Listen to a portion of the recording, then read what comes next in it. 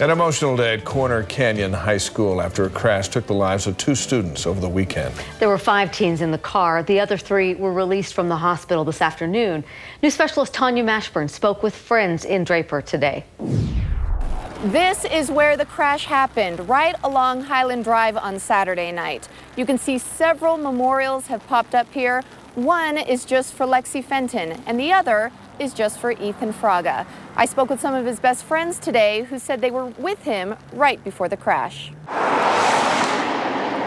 Dude, Ethan, everyone loved that kid. He's like he's like a really awkward kid, but at the same time like really outgoing and like everyone just loved to be around him. When they talk about Ethan Fraga, his friends can't help but smiling.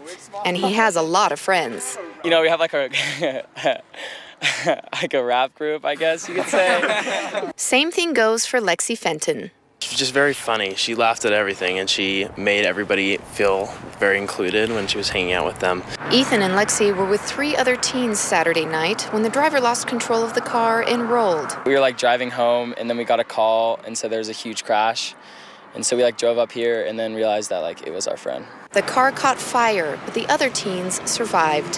One of them was Lexi's twin sister, Lauren. They're very, very super close, inseparable, and they both had that contagious laugh. Today at Corner Canyon High School, the entire student body took time to remember the victims with ribbons and banners.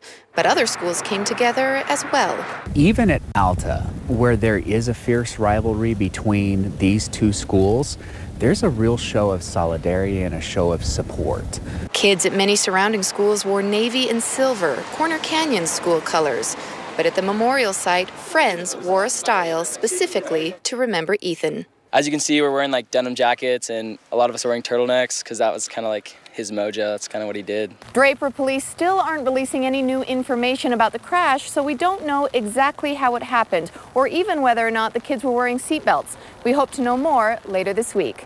In Draper, Tania Mashburn, KSL 5 News. Tania,